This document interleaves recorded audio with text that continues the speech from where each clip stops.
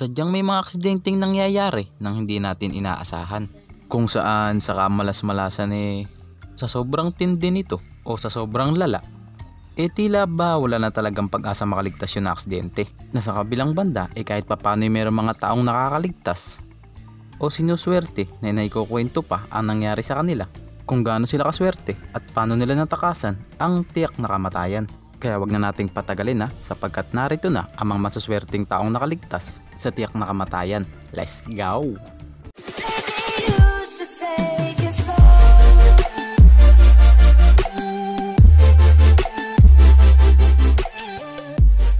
Number 1, Beck Weathers. May tuturing na sugal ang pag-akit sa Mount Everest sapagkat kahit libu-libong mountaineers na ang tagumpay na nakakit sa tuktok nito na 29,029 feet eh sa kabilang banda kahit tatlong daan na rin naman na namatay dito habang umaakyat. Gawa kahit meron silang dalang oxygen tank eh, nakakaranas pa rin ang mga mountaineers ng matinding pagod, pagkalula, pagsusuka, hypothermia at frostbite habang umaakyat. At anyway, noong 1996 ay ang 49-year-old na si Weathers na isang pathologist mula Texas dahil nga sa kadahilan ng umidad na ay sinubukan sumugal para naman maranasan niya umakyat dito. Kung saan nga nung May 10, kasama ng kanyang team habang papalapit na sana sa tuktok ng bundok ay di inaasahang lumabo ang paningin niya. Na nung mga oras na yun ay nandun na sila sa 28,000 feet. Gawa ano eh, naoperahan pala siya sa mata dati bago sila umakyat nga dun sa bundok na dahil na nga rin sa taas ng inakit nila ay tila nawala ng tuloy ng paningin ng ating bida which is ang pangit sa kasama niya ay iniwanan niya si Weather sa camp na babalikan na lang daw nila. Eh ito namang si Weather.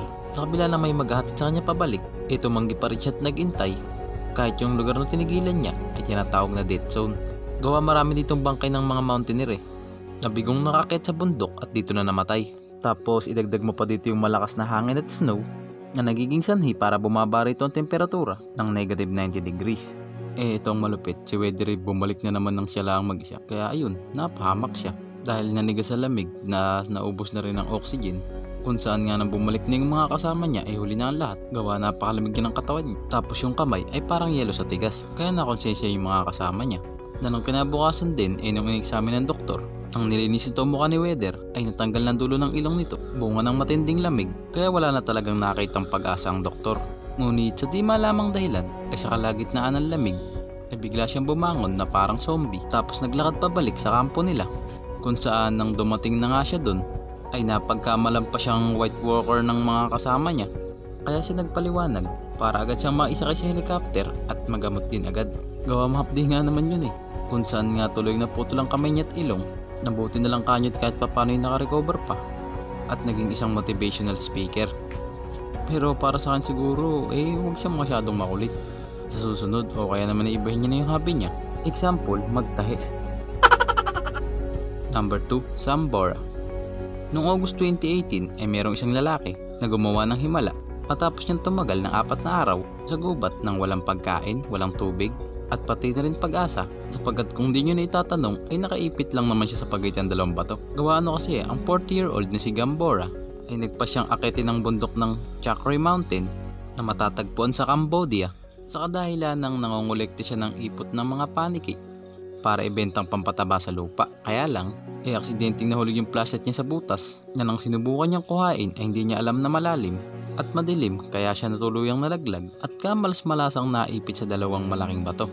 Sa loob lang naman ng apat na mahabang araw, naabuti na lamang dahil sa pag-aalala ng kanyang kapatid ay nahanap nila si Sam kung nga nasaksihan nila ang kawawang sitwasyon nito mula sa taas kaya dali-dali silang gumawa ng aksyon upang matulungan ang ating bida na inabot lang naman ng dalawang daang tao at sampung oras bago tuloy ang maputol ang bato kung saan siya nakaipit bago siya tuloy na rescue at nadala sa ospital.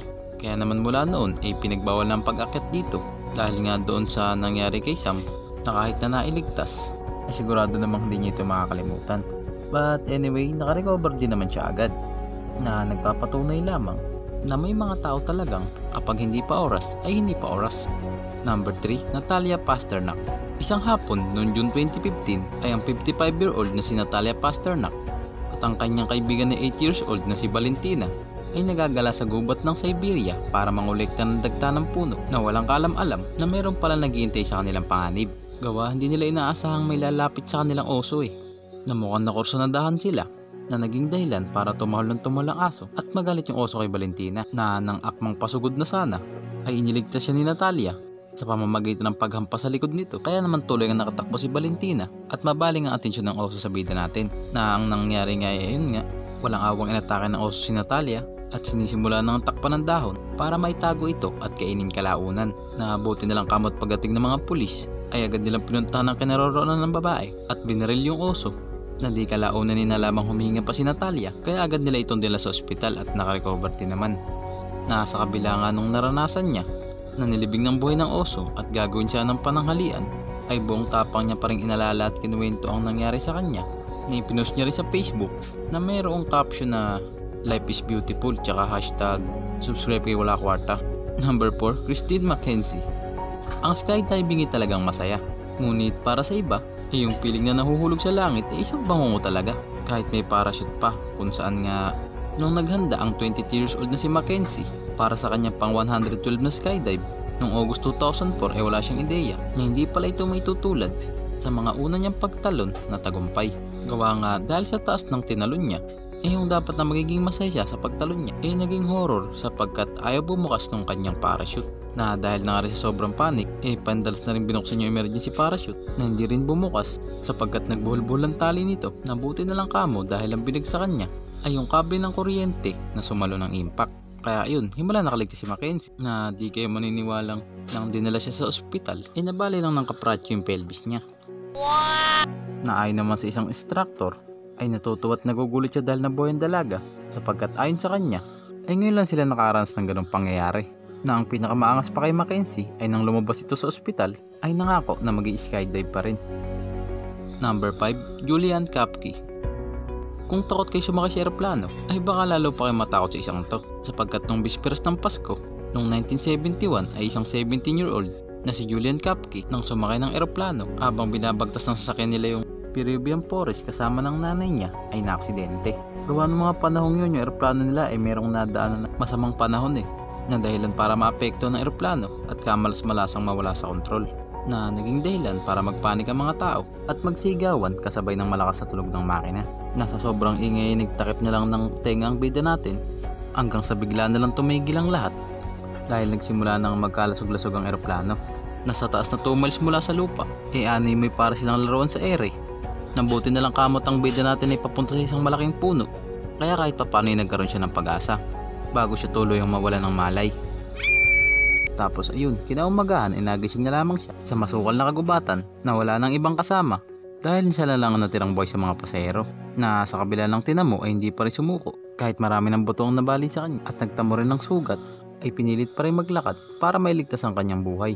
Kung saan nga sa paglalakad niya ng sampung araw ay nakakita siya ng pag-asa na makita niya ang isang kubo, bangka at saka gasolina na kanyang ginamit para gamutin ang mga sugat niya kahit na medyo mahapdi ito. Di pagkatapos nga nun nagpahinga na siya no, tapos nagpalipas ng gabi. Na kinaumagahan ay nagising na lang dahil may tao sa labas. Na ay nakala siyang Diyos ng tubig kaya siya sinamba. At matapos niya ipaliwanag sa mga ito kung anong nangyari sa wikang Spanish. At kinamot siya ng mga ito at inihatid pa uwi sa bayan kung saan nakita niya rito ang kanyang ama. Kung saan ikinuwento nga ni Kapki nangyari sa kanya noong taong 2000 sa isang documentary show na Wings of Hope ni Werner Herzog. Nalaking gulat niya dahil nakatiyempo yata sapagkat sana siya pasahero din nun kundi niya lang kinancel yung flight niya. Number 1, Greg Rasmussen Si Greg Rasmussen ay isang animal conservationist na malapit sa mababangis na hayop sa malawak na kagubatan ng Afrika noong taong 2003 kung saan nung nakasakay ito sa eroplano niya sa Hawaii National Park sa Zimbabwe para hanapin ang mga endangered na rhino ay bigla na lang siya nawala ng kontrol sa kanyang sasakyan at tuluyang bumagsak sa lupa na matapos niyang mapag-alaman na pares na bali ang kanyang dalawang binti eh kahit pa paano yung nakagawa niya makapunta sa puno para doon magpahinga. Na sa kasamaang palad hindi pa pala doon natatapos ang kamalasan niya sapagkat di na rin pala siya makapunta sa radyo na dahil nga sa lakas ng impact ay nasira na rin kaya hindi siya makakahingi ng tulong. Tapos nasa kalagitnaan pa siya ng kagubatan. Kaya dahil sa kadahilan ng nangihina at wala na siyang depensa ay naging easy target siya ng mga hayop doon kung saan yung mga vulture ay nagabang sa kanya na pati mga elepante gusto rin siyang tapakan. Nabuti na lamang at nakapag-isip agad at hinampas yung eroplano para mabugaw ang mga elepante at iwan siya na pinaulit-ulit niya pa rin matapos niyang malaman na meron na rin papalapit sa kanyang mga leon kung saan nga nung gabi na ay hindi pa rin siya natahimik gawa ng mga hyena na nabugaw niya pa rin kaya di tumagal ay naligtas na rin siya. Na di biro ah. Kasi sumailalim siya sa isandang operasyon para tuloy ang gumaling yung binti niya na nung matapos ay nabawasan lang naman siya ng 3 inches. Awit. Oo nga pala kaibigan, kung ikaw ay bago pa lamang sa aking channel, i-click lang ang subscribe button, pati na rin ang mahiwagang kampana para lagi kang updated sa mga bago kong ilalabas na mga videos.